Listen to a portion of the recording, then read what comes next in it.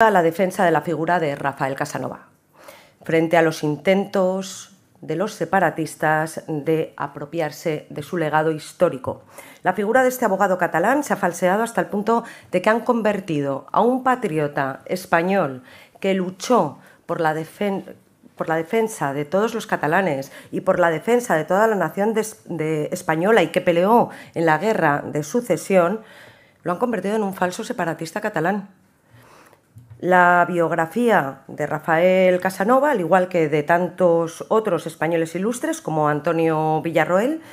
merece ser divulgada íntegramente sin ser sometida al trillo de la falsedad y la manipulación con el fin de construir un relato separatista basado en hechos históricos falsos.